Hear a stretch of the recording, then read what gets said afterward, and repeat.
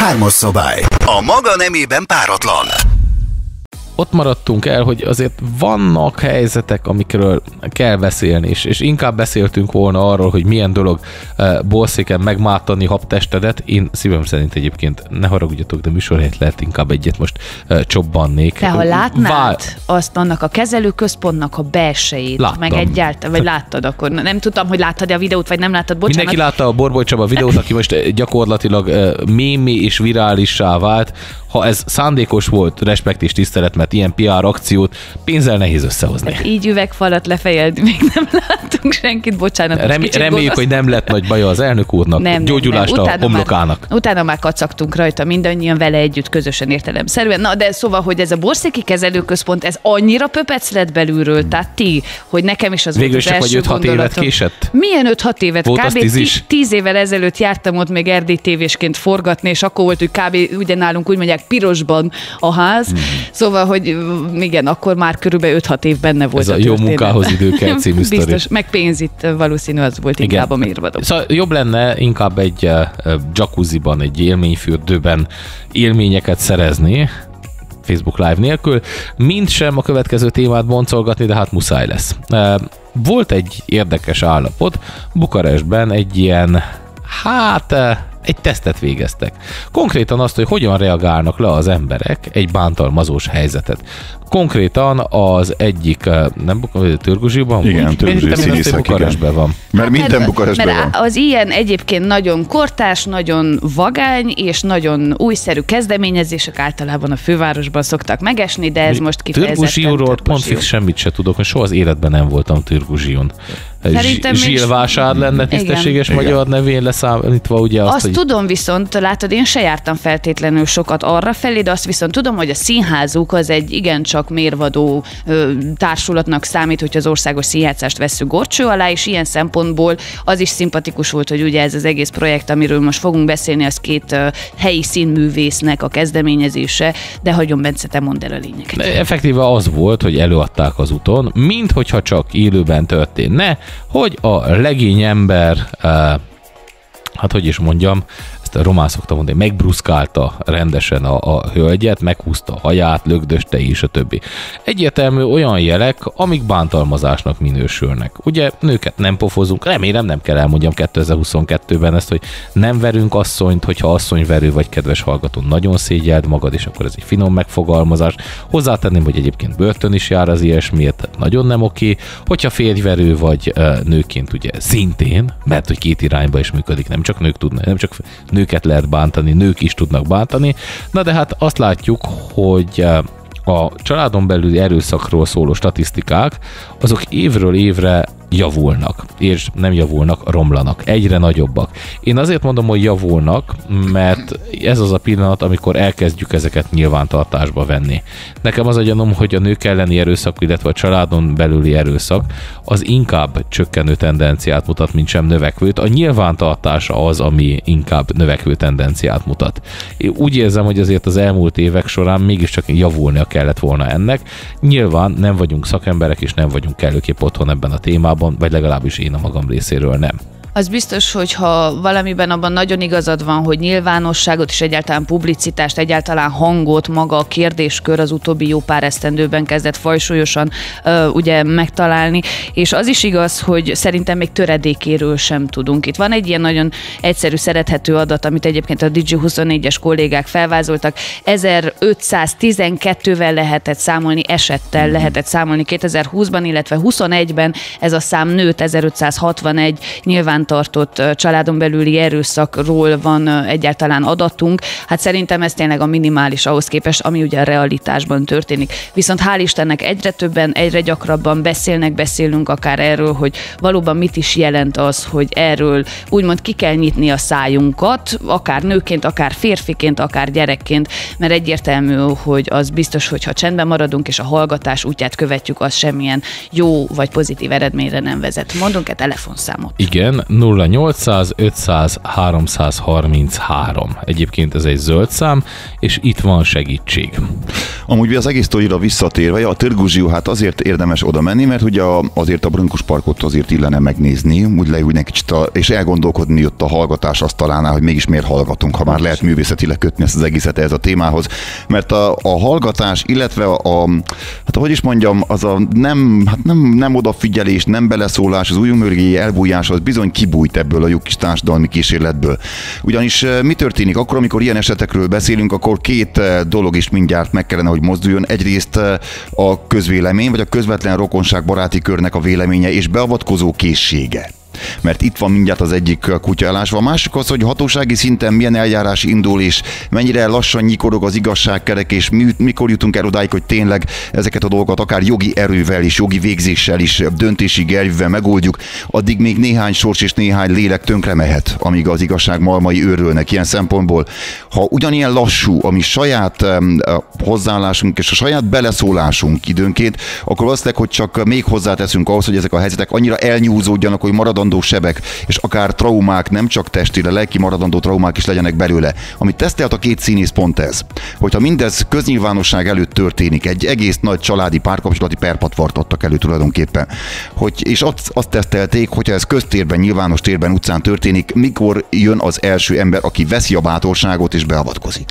Így van, én azzal egészíteném ki egész pontosan a kettes listát, amivel te jöttél, Endre, hogy igen, valóban a család és a közvetlen környezetet hogyan akar a segítő készség készségéről tanúbizonyságot tenni, egy, kettő, hogy jogilag ez akkor milyen úton, módon rendeződik. Pontosan ezzel a harmadik szállal kell kiegészíteni. Nem magánügy, ezt nem tudom, hol hallottuk, ugye szlogenként skandálták nem is olyan nagyon rég, nagyon sok helyen, hogy az erőszak igenis nem magánügy. Ergo pont arra irányul ez a jó kis kísérlet is, ami Törguzsi utcáin ez a két színész, egyébként két fiatal, nagyon szimpatikus színészről van szó, egy úr és egy hölgyecske, akik eljátszották ezt a verekedős, szó szerint verbális és fizikai abúzus jelenetet nyílt utcán több helyszínen is, pont arra reflektál rá, hogy igen, nem szabad átlagemberként, ezer idegenként, utcán sétáló, egyszerű földi halandó járókerül, járókelőként sem szabad szó nélkül hagyni, vagy ne hogy Isten mondjuk ugye közbeavatkozás nélkül hagyni ezt az egész történetet.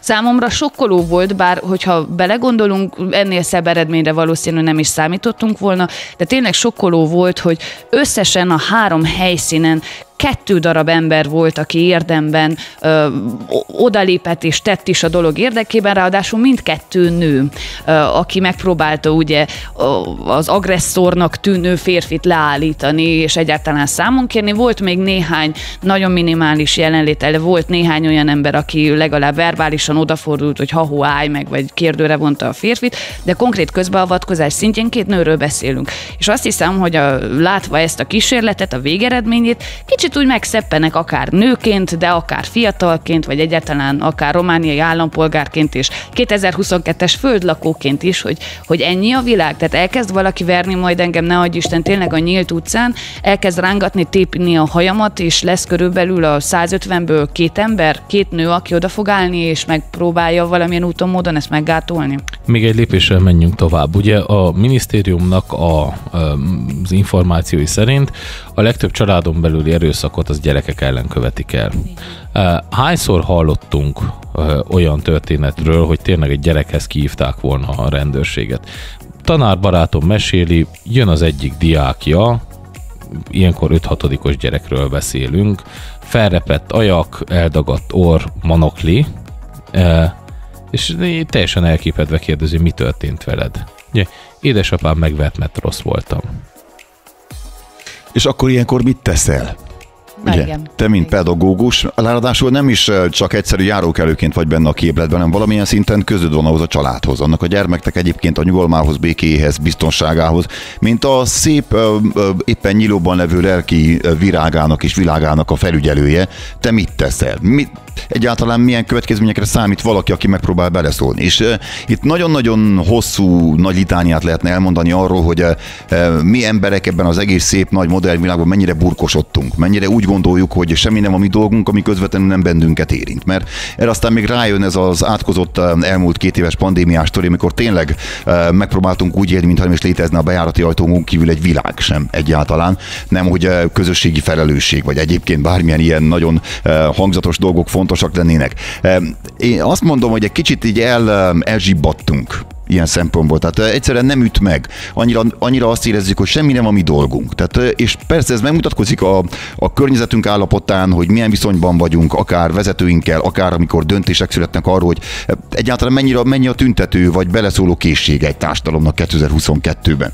Úgy lehet bennünket taposni, el sem lehet azt képzelni, hogy akkor már a tűrőképességünk, hogy már a sárba bele vagyunk nyomva, és mindig nem vagyunk képesek felemelni a hangunkat magunkért, nem hogy másért. Igen, igen, igen, én is egy kicsit itt látom inkább a kulcsát ennek, hogy az a helyzet, hogy az inger küszöbe a 2022-es modernkori társadalomnak az olyan szinten el van csúszva az én mércém szerint legalábbis full szubjektív vélemény, ahol igen, azt látjuk, és sajnos konkrétan ezzel kell szembesüljünk, azt látjuk, hogy igen, belefér az, hogy mellettünk egy nőt ütnek, egy gyereket ütnek, egy férfit ütnek az utcán, és belefér az, amiről ráadásul nem is beszéltünk még, holott a cikk egész komolyan hangsúlyoz, ugye a Digi24-es felvételen is látszik, hogy belefér az, hogy neki fogsz könyörgöm, és videózod az esetet. Tehát ja. TikTok sztorit, meg Facebook live-ot csinálsz abból, hogy a másikat verik az utcát.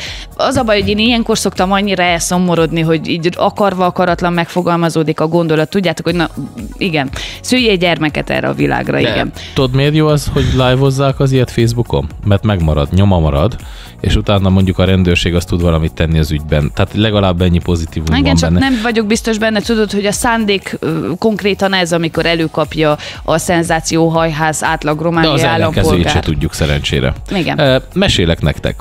Nem, konkrétan nem tettem az ügyben semmit. Felső szomszéd rendőr szakmáját, egy román rendőr nemzetiség egyébként nem befolyásolja a dolgot, meg a szakma se, de mit ad Isten, a hang alapján nem tudtuk elképzelni, mit csinál, de úgy gondoltuk, hogy veri az asszonyt. És ezt így visszatérő módon. Jó, egyszer a hölgy összepakolt, elköltözött, elhagyta. Akkor összeszedett egy másik csajt, később azt hallottuk. Tehát, hogy ez így, így benne volt, neki ez a rutinja. Így gondolkozom egyébként azóta, azt hiszem, hogy már nyugdíjazták is elköltözött a megyéből, legalább ennyi. Nem tudom, hogy hogyha máshol gyükér, az, az nekünk jobb vagy rossz. Mindenesetre azon gondolkoztam, hogy oké, okay, rendben, és akkor kihívom a rendőrséget, és mit, hmm. mit mondanak, hogy a kollégák tehát nem fognak kijönni. Az a sanda gyanom. Azért uh, tippelek arra. Aztán másik dolog ugye, hogy gondolkozol azon, hogy ez mondjuk ment, nem tudom, egy évet laktunk azon a helyen, hogy ez azért úgy előfordult, mit tudom én, hetente kétszer, háromszor, és valahogy a, a, ilyenkor a, az emberből kijön az áldozathibáztató, hogy de most könyörgöm. Tehát nem arról van szó, hogy először fordul elő, hanem így hmm. megy ennéve, miért nem tesz ő maga valamit ez se egy egészséges hozzáállást tenném hozzá. Mm, nem, pontosabban az volna az egészséges hozzáállás, hogyha már ugye nem akarsz beavatkozni a másik ügyébe, a, pedig szerintem az, az aktív és a, mondjuk az ilyen, hát ez bűncselekmény azért mondjuk ki. Tehát, hogy a, a, ott kellene valamilyen szinten el, az első lépést megtenni, ami viszont még durvább, és már megint itt jön be, a, itt jön be az egész videós történet, és ott akadtam én el, és még mindig ezen gondolkozom azóta, amit belenéztem abba a videóba, hogy az nem történik meg, hogy valaki békésen felkorolja azt a nőt, és elvigye valahol valahova máshová, az nem történik meg. Tehát nem azt várnám első körben, hogy valaki egyet behúzon annak a bunkónak,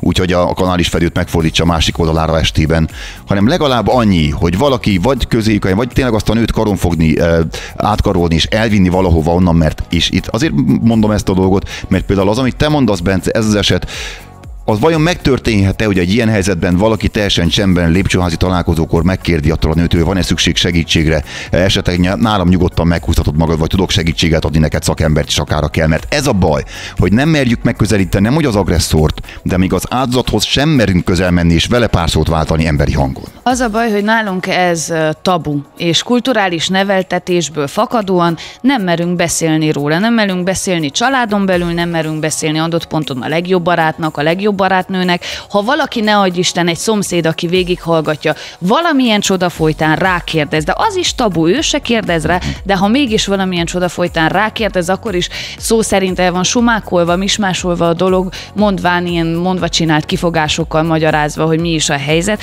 Nem vagyunk egyszerűen még arra ránevelődve, én legalábbis ezt látom magunk körül, hogy egyáltalán felvegyük úgymond az idézőjeles kesztyűt, és merjünk megszólalni a dolog érdekében, akkor is, hogyha elszenvedői vagyunk egy ilyennek, de akkor is, hogyha fül vagy éppen szemtanúi vagyunk egy ilyen vagy hasonló helyzetre. És mondom, mi a legjobb példa erre, hogy csatoljunk vissza akár ugye adatok tekintetén is a gyerekekre. Legyek akkor én, aki ezt kimondja, főleg nálunk erdély magyaroknál, hogy ne csak Románia átlagáról beszéljünk, de főleg nálunk erdély magyaroknál az igenis magánügy és igenis családon belüli téma és kérdés, hogy a gyereknek adok-e egy pofot, egy maflást, hogy megtanulja a leckét, vagy ne.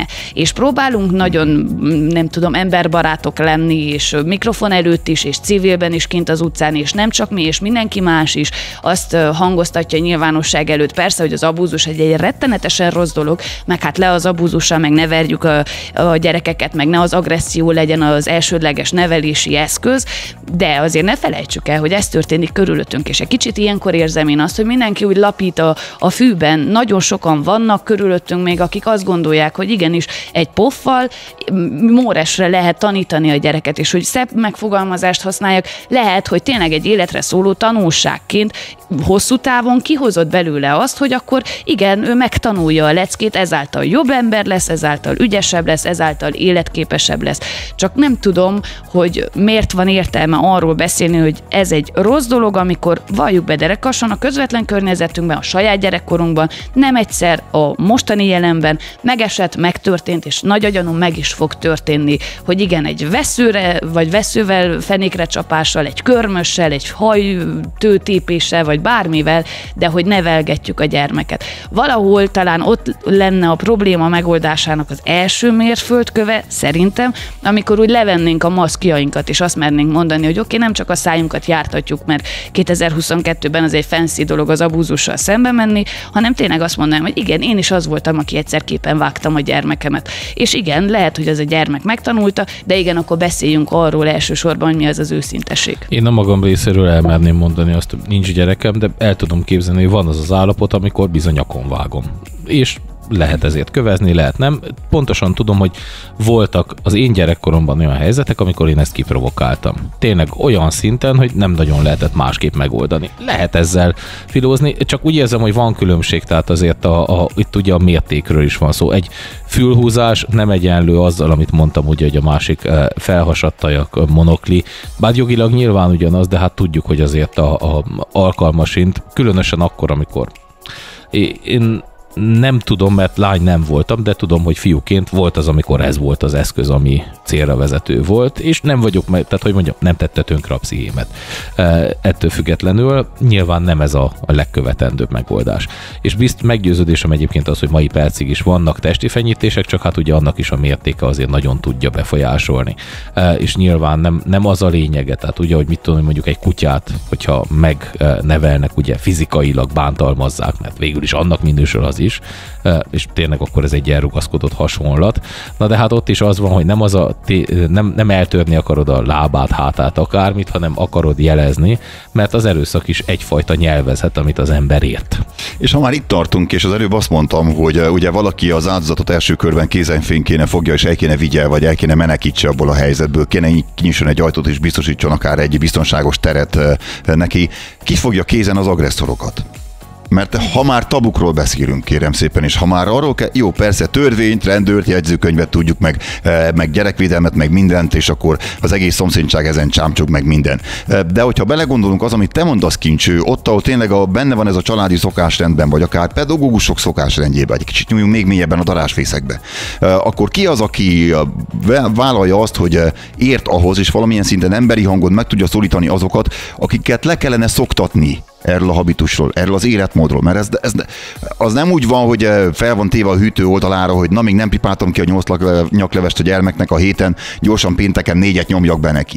Hanem ez egy olyan ösztönös reakció, olyan ösztönös mozdulat szerintem már, és annyira benne van az embereknek a, hát a viselkedés módjában, hogy ez az első gesztus, ami eszébe jut valakinek, hogy eh, erről is olyan szinten beszélni kell, hogy erről pont úgy, mint sok más káros dologról, egy kicsit tabukat félretéve és olyan ajtókat megnyitva, amelyeket nagyon nem szokunk megnyitni ebben a társadalomban beszélve, ezekről a dolgokról bizony akár le is lehetne szokni, vagy meg lehetne változtatni a viselkedésrendünket. Egyrészt kellene ehhez nyíltság azok részéről, akik még mindig ott tartanak, hogyha hazahozza a gyerek a négyest, akkor már lendül is a kéz, nem is beszélve egyéb eszközökről vagy segéd kiegészítőkről.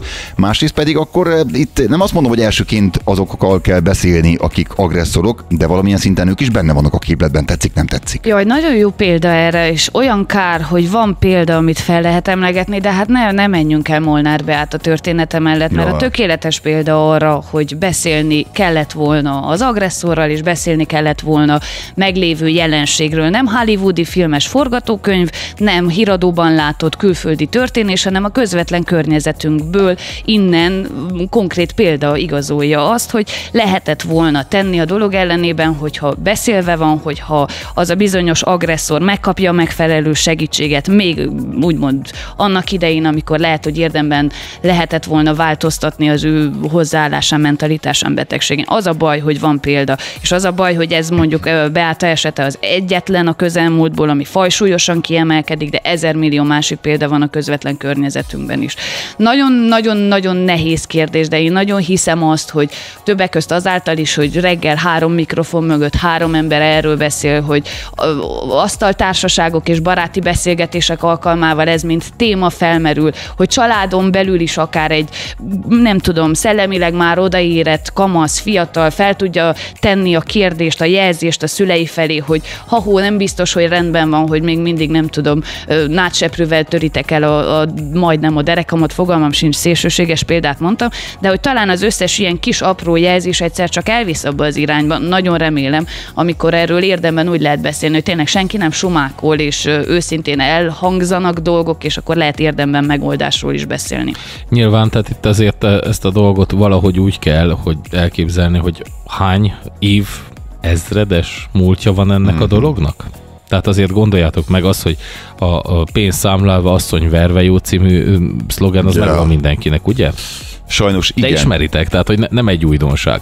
Ahhoz képest ma már tudjuk, hogy, bocsánat, az aktuális társadalmi berendezkedésben nem tartjuk jónak azt, hogyha az asszony verve jó. Tehát, hogy nem ez a hozzá... Változnak az idők, nyilván, hogy változnia kell az időnek, az egy ilyen dolog. Azt is hozzá kell tenni, hogy nem biztos, hogy ezt mindenki utolér, és abból jönnek az ilyen helyzetek. Én úgy érzem, hogy nem jellem, bár franc tudja. De hogy nem azt akartam, hogy a nyugati társadalomra nem jellemző, de hát gondoljunk csak a, a sztárvilágba, a klasszikus példára.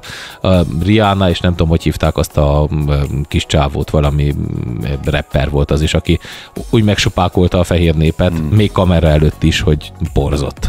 És itt van, a, itt van látod a elásva a kutya, mert azt mondtad, hogy most már tudjuk, hogy de pont az a gond, hogy ez nem elég. Tehát az, hogy most már vagy másképp gondoljuk, és tényleg legalább ugye egy fejcsóválás nem elég. Az, hogy hazamegyünk, miután láttuk az utcán, vagy láttuk egy családi vendégségben ezt például megtörténni, akár nyomelemeiben is előfordulni. Hazamegyünk, elbeszéljük az, hogy te láttad, mit csináltad a Pistát, hogy belőtt a konyha. Nem elég. A szavak nem elegek, a, a, a kimondott gondolatok és mondatok nem elegek szerintem, mert beszélni dolgokról persze kell, mert azáltal indul el valami folyamat, de csak beszélni dolgokról, ezt jól tudjuk, és több évezredes igazolása van ennek is, hogy bőven nem elég ahhoz, hogy érdembéli változás legyen. A tettek azok, amik igazolják az embereket. Igen, és hát konkrét eh, lépésekre is szükség van. Ne felejtjük el, hogy például bántalmazott, eh, bántalmazott nők, sőt gyerekek esetében is náluk egzisztenciális kérdés, hogy nem tudnak onnan elmenekülni. Nagyon sok esetben ebben a még mindig patriarkális társadalomban egyszerűen eh, maga a létbiztonság és az, hogy van amit enni, inni, van ahol melegben lenni, az az összezártságnak az egyik formája, azaz nem tud egyik percről a másikra egy nő úgy kilépni egy ilyen élethelyzetből, hogy utána meg is tudjon állni a saját lábán. Ezért volna szükség egyre több és egyre több ponton, több városban volna szükség azokra a bizonyos safe house-okra, amit már nagyon-nagyon sok helyen, nagyon jól működően láttunk már is. Én azt várom, hogy egyre több jöjjön elő olyan helyzet, ahol akár önkormányzat, megyei, helyi, például alapítványokkal, közösségi munkával együtt ezeket fent tudja tartani és működtetni tudja. Mert kell egy olyan köztes létezési forma, kell egy biztonságos borok, ahonnan ezek az emberek az életüket előről kell tudják kezdeni. Ez pedig tényleg meg kell a technikai körülményeket is adni, ez a legnehezebb feladat. Még egyszer mondom, az ingyenes zöld szám hívható szám 0800 500 333 bármilyen ilyen szomorú családi erőszak esetében ez hívható. Ne csak magatoknak jegyezzétek meg, másoknak is elmondhatjátok. A másik számom, ahol megírhatjátok ti a véleményeteket 0726 71 99 66. Ide írjatok SMS-t a témával kapcsolatban, vagy pedig írjatok nekünk Facebookra. Hármas szabály. Hétköznap a Rádió Gagán. A maga nemében páratlan. Tényleg. Hármas szabály. Főnökünk szokta volna, egy jó kis reggeli témát találtatok. Ma például ugye ez a családon belüli erőszakos ilyen. E, Isten igaziból nem is erre a dologra mennék rá, de tényleg mit csinálsz Jocó akkor, hogyha látod, hogy egy pasas, lögdős netán tépi egy nőnek a haját a nyílt utcán? Egyébként Oda mész, szia. szólsz-e? Ja, amúgy szia, Jocó. Hello. Mi Sziasztok, már köszöntünk kikapcsolt mikrofonnál. Hát de nem tudom, azért helyzete válogatja, nem vagyok én se az a, az a nagyon bátor, aki elsőre, ahogy meglátok egy ilyet, oda szaladnék. Tehát Bukarestbe jártam azt hiszem egyszer, úgyhogy ö, valaki lögdösték egymást, valami romák, és nem, nem igazán éreztem, hogy oda mernék menni. E, Mert hogy elég sokan is voltak, és na hát valószínű, hogy megszólítok, mert volt már olyan volt, hogy egy vonaton megszólítottam egy fiút, mert a lányjal nagyon csúnyán Mhm. beszélt. Nem, nem bántalmazta, csak beszélt, és így éreztem, hogy azt, azt úgy meg kell tennem. De valóban egy kicsit fa, fa, fa, hogy, hogy nevezik ezt? Fa, Papofával végignézzük? Fafélék vagyunk. Ja, igen, fafélék. Csak nem tudom, hogy, hogy kell azt Tehát, hogy elmondani. Most így érthető. azért Jocónak hadd fürdessük meg a szerecsenét, hogy mindannyian. Egyébként hogy, igen. Hogy, Igen, tehát, hogy hogy nem, nem szívesen most izé, valakik veszekednek az úton kellős között. Ha ismerősök, barátok, akkor hamarabb. Egyébként Meg ha tetlegességre igen. kerülne sor, akkor biztos, hogy a fiút az azonnal megfognám. De egy vadidegennel úgy vagy, hogy...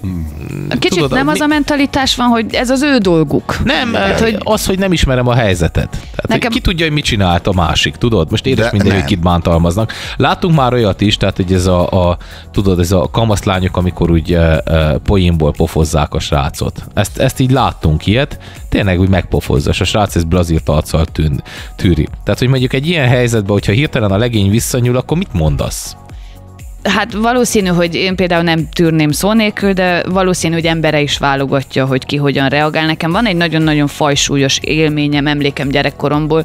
Azt láttam egyébként hasonló a Jocó tapasztalásához, hogy egy roma bácsi, bácsi, akkor bácsinak tűnt, egy roma férfi ember szó szerint egy nyílt utcán verte a feleségét, de, de úgy, hogy ott pofon csattant, ott rugások történtek, ott minden, és ha hiszitek, ha nem értelemszerűen a közegből, a tömegből volt egy másik pasas, aki oda ment, szólt, hogy na azért ennek a, tényleg legyen vége, főleg itt a nyílt utcán, és a feleség, aki a pofonokat kapta, azt támadta ki a védelmére kelt férfi embert, hogy már pedig ő ne vegye a bátorságot beleszólni az ő magánügyükbe, mert hogyha a férje ura őt most meg akarja verni, akkor ez az ő dolga. És nagyon-nagyon-nagyon erősen megmaradt, megmaradt az élmény, valahol egyfajta mentséggyanánt is, mert az van, amit én korábban mondtam, hogy kulturálisan miben nevelődünk bele, hogy milyen vélemény és milyen, nem tudom, mentalitás övezi az egész kérdéskört körülöttünk, az azt hiszem például egy roma közösségben fokozottan érvényesül, és sokkal inkább fellelhető. Ők abba vannak belenevelődve, hogy már pedig az igenis normális,